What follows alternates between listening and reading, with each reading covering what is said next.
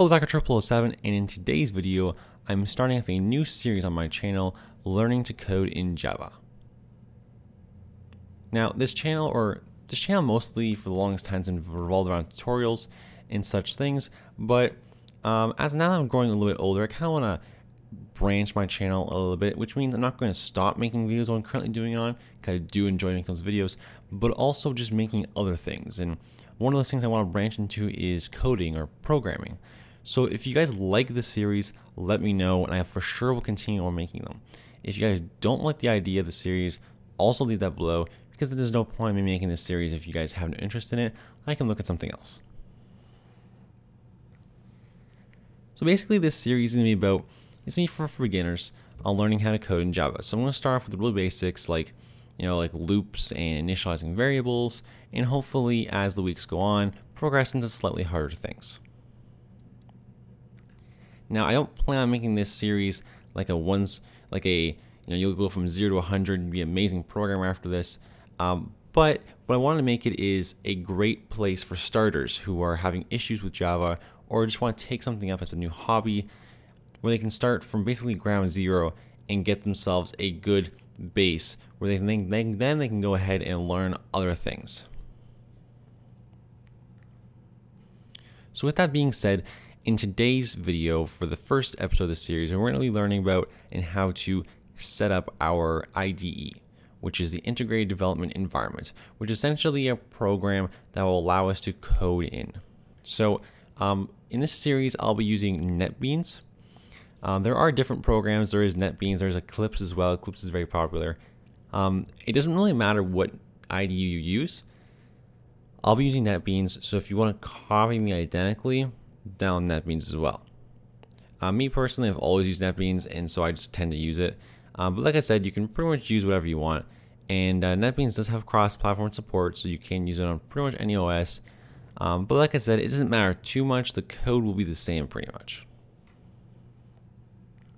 So with that, enough talking, let's get going. So you want to head over to NetBeans, and you want to go to download. And then we're just going to download the Java EE one right here.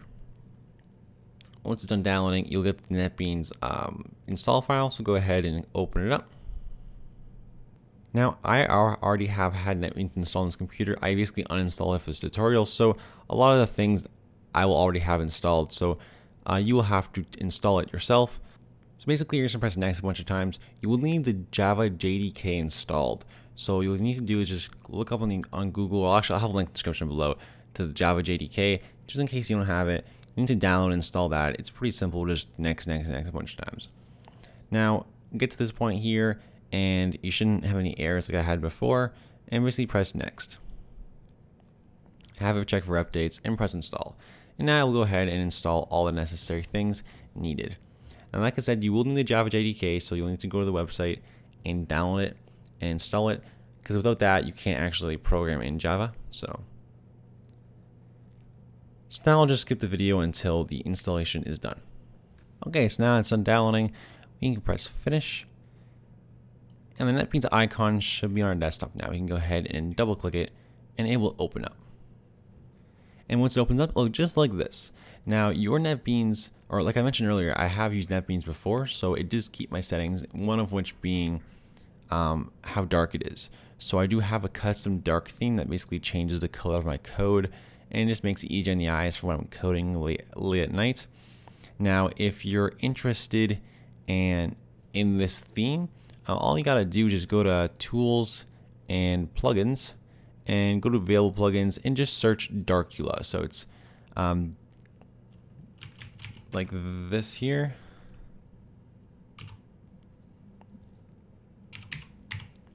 And I already have it installed, so if you if you go installed, you see Darcula right here. And once you install that, you'll just have to reboot it and then it will look just like this.